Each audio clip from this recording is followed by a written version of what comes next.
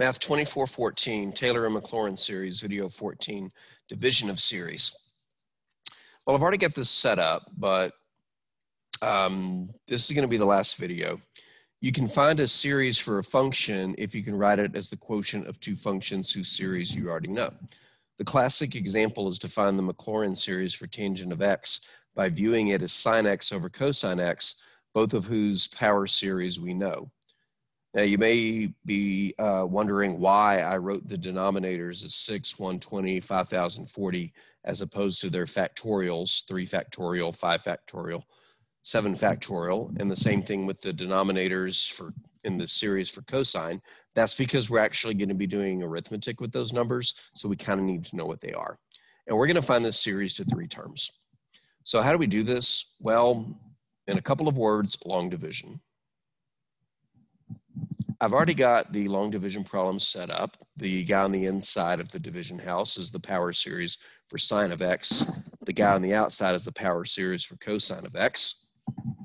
So let's just get to it like we would normally do long division.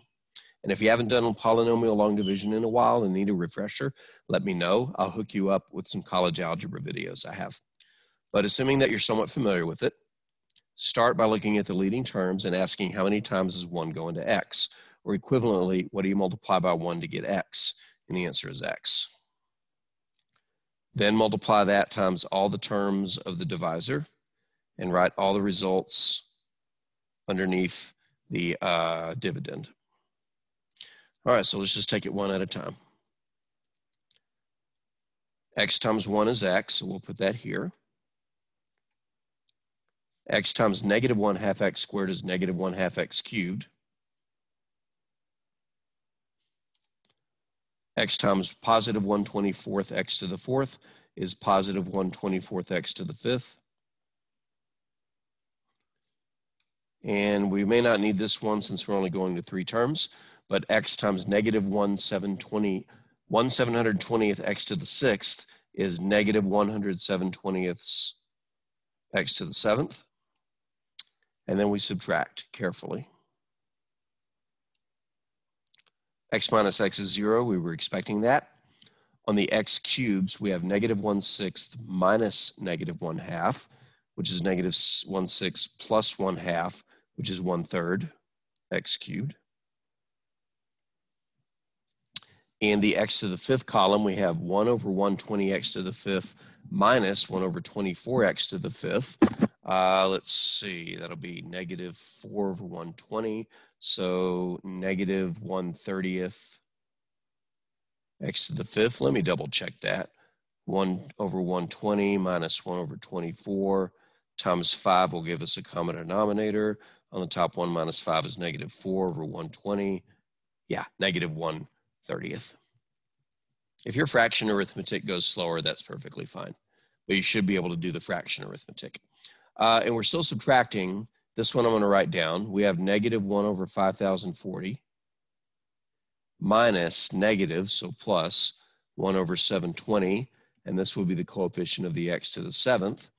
But remember that 720 came from 6 factorial and 5040 came from 7 factorial. So all I have to do to bring the 6 factorial to a 7 factorial is hit it with some 7s. That will give us negative 1 plus 7 on top, which is 6. 5040 on the bottom. And that's going to give us something.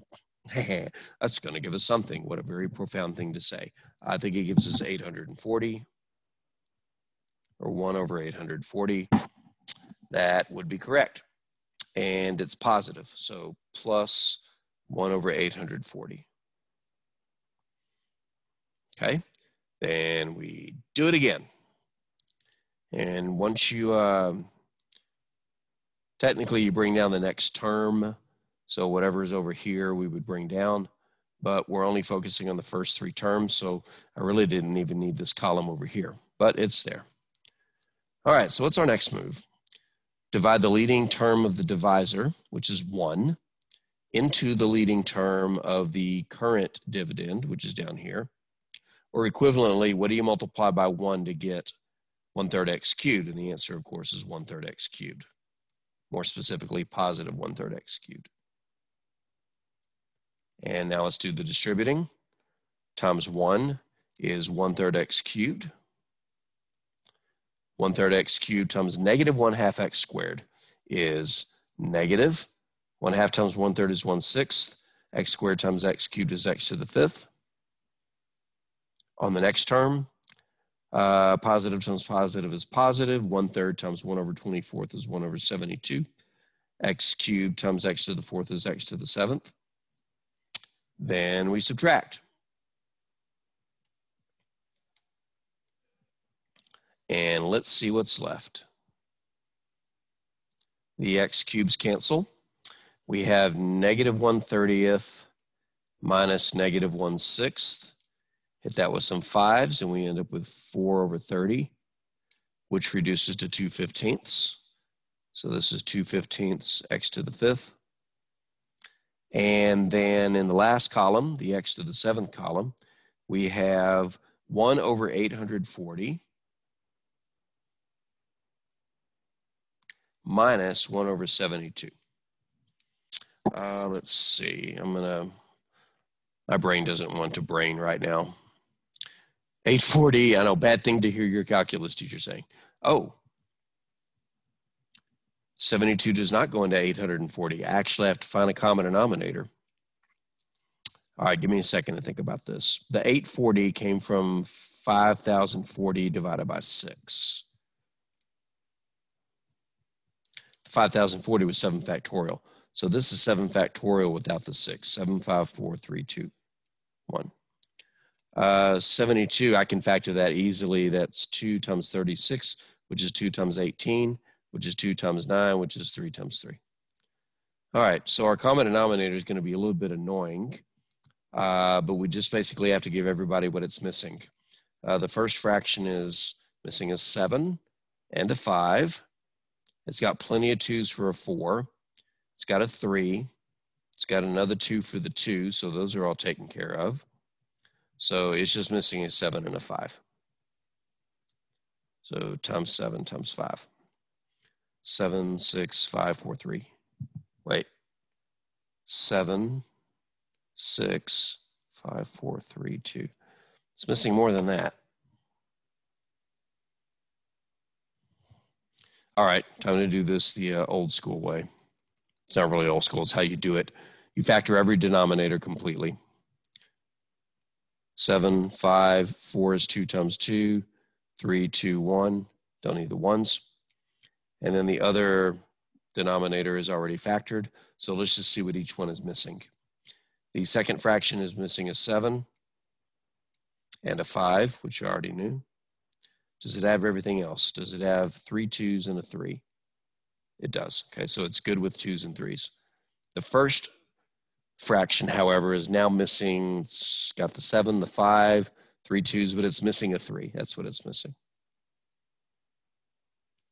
So the numerator is going to be 3 minus 75, uh, excuse me, 3 minus 35, which is negative, um, 30, negative 32. And the denominator is going to be whatever I get when I multiply all the factors out.